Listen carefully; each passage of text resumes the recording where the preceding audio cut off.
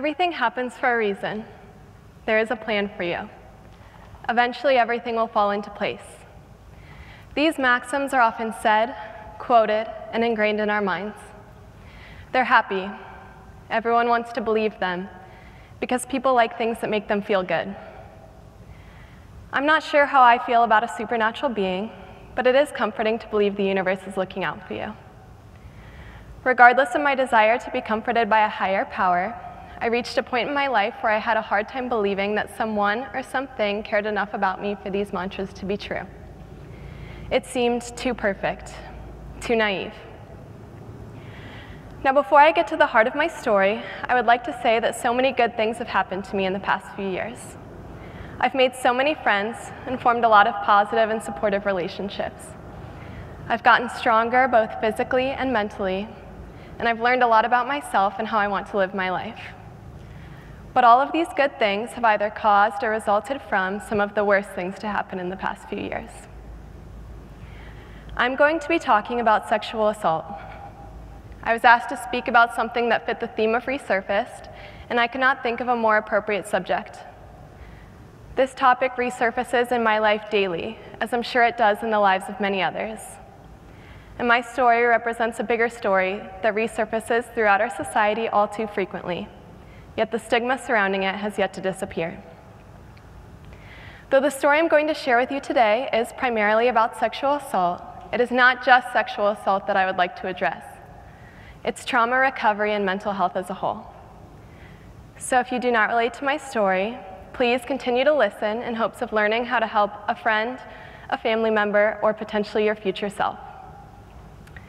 I would also like to say that I'm not here to get sympathy or to revolutionize our community. In fact, even just sharing my story is going to be difficult. But I know I will have made an impact, and sharing my story will have been worth it if I reach just one person in the audience today. So please, allow me to share my story, my response, and an attempt to make sense of it all. In the spring of my freshman year of high school, I met another freshman in my class. It started off slow and innocent. He was short and funny like all of the dorky best friends in a romantic comedy. He'd make me laugh so hard that I would cry. He was smart and athletic and could always cheer everyone up. This boy and I began to get closer and he eventually asked me out. We made our way to the end of freshman year and also began our sophomore year together. As we got deeper into sophomore year, my boyfriend and I began to have a few struggles. Our biggest fight happened towards the end of October, a fight I felt I was at fault for.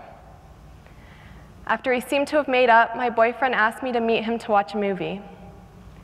When I got to him, he led me in a back door, down a flight of stairs, and into a dark corner that no one had been to in a long time.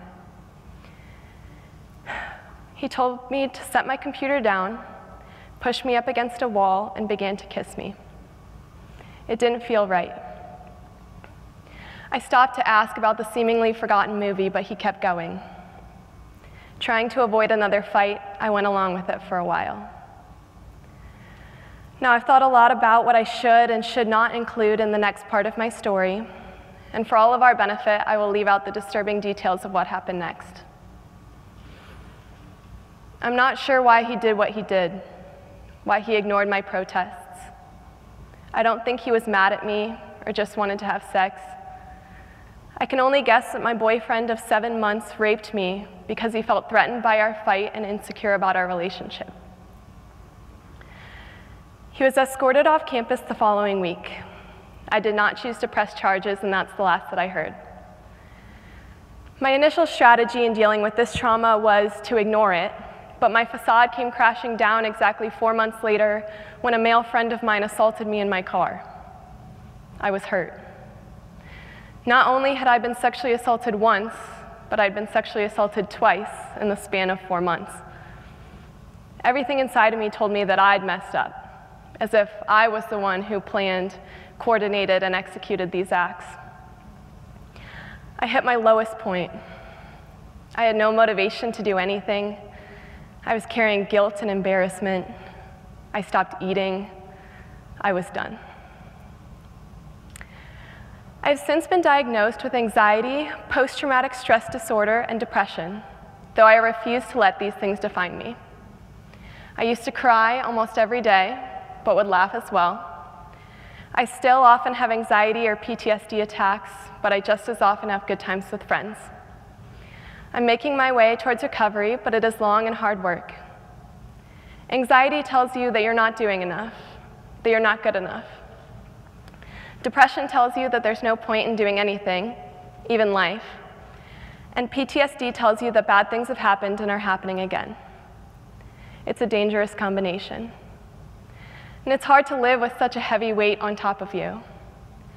No matter how badly I wanted to be happy and have fun, my body wouldn't let me. Whenever friends invited me out, I would avoid joining if there was even the slightest possibility of being in an unfamiliar situation with unfamiliar people. And for the longest time, even the slightest touches could get a reaction out of me. Some made me sick enough to throw up or pass out. I hit a point so low that no one or no thing could have dragged me out of it. I honestly don't know what changed inside of me, but one day I realized that if I wanted even a chance at normalcy or happiness, I would have to work to make that happen for myself. I opened my mind to therapy and medication, I surrounded myself with people who would support me and not drag me down. And slowly, as I began to invest in myself and my recovery, I began to cry less, laugh more, and I became a stronger person than I ever knew was possible. I refused for a long time to acknowledge that what happened to me was rape. The word rape felt too personal, too victimizing, and too accusatory towards my assaulter. But I've since realized that I'm the one that has to deal with the anxiety, the PTSD, the depression, and all of the negative consequences of somebody else's actions on a daily basis. And therefore, what happened to me deserves an accusatory title. It's taken a lot of time and a lot of work to get to where I am today. Like I said before, I've had an amazing group of people show me an endless amount of love. My mom, my dad, my brother, friends from home, friends from high school, and my group of friends here at CASE. These people have picked me up, dusted me off, and encouraged me to keep going. Despite all these positive improvements in my life, I received a lot of backlash for coming forward with my story, especially at the beginning. And one of the hardest parts of recovery has been learning to ignore outside opinion. Society today is so much more accepting of people reporting these kinds of stories than it was a few years ago, but that does not mean we don't face opposition. Since reporting, I've been thoroughly questioned on the validity and credibility of my story, as I'm sure many others who have had similar experiences have as well. And despite having physical evidence of what happened that night, others' opinions have often made me question the validity of my own memory. I've also been judged for taking time and space for myself and my recovery because my story wasn't bad enough. But I'm here to tell you it doesn't matter what you have been through or what others believe, you are valid. Through this whole process, I've learned to listen to the opinions who matter, listen to myself, and give myself what I need because I do not need somebody else's permission to love myself, and no assault or critic can take that away from me. Thankfully, not everyone will experience the same type of physical and emotional trauma that I have endured, but we all encounter obstacles in our life. Mental health is not something that can be brushed under the rug. It's an ongoing battle we have to choose to fight on a daily basis. It does not matter how minor you believe the trauma is, if it is impacting you, it is important. You can't just ignore trauma and mental health, or it will continue to resurface in other aspects of your life. For me, it resurfaces through PTSD attacks. For others, it might be a loss of sleep or appetite, anxiety, nausea, pain, and on and on. A common misconception in our society is that trauma is comparable, but I'm a firm believer that it is not. It's this line of thinking that prevents people from getting the help that they need. I don't want anyone to leave here today thinking, oh, I wasn't raped, so I must be doing okay. That's not the point. We all have our own unique experiences that may impact us differently. You don't have to hit rock bottom for you to get help. I actually hope that you don't. I stayed in denial for so long that it almost cost me my life, And looking back, I wish I would have been able to accept the help that was extended to me sooner. So please, check in with yourself and choose to fight the battle in the best way that you can. The next biggest lesson I learned in my recovery is that bad days do not mean a loss of progress. Everyone who knows me knows that I still have bad days. I still get anxious and depressed. I'm a college student who's working through my trauma. It's expected that I'm not perfect. But at the beginning of my recovery, I did not realize that that was an acceptable expectation to have. I thought that any minor setback meant complete failure. The first step in my recovery was choosing to get help.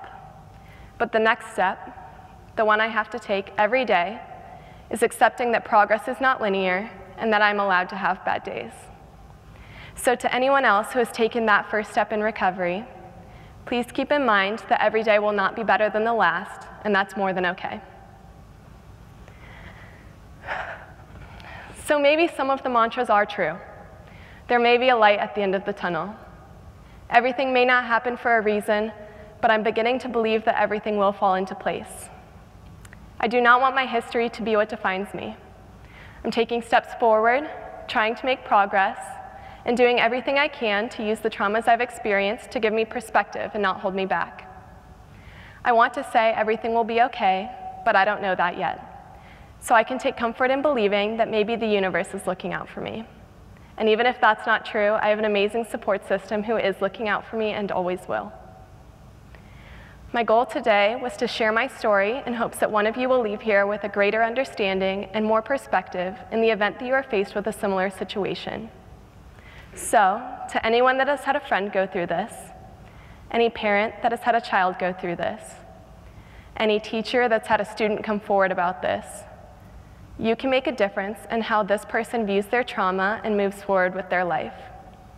And to anyone who is struggling, invest in your own recovery, lean on those around you, and always love yourself.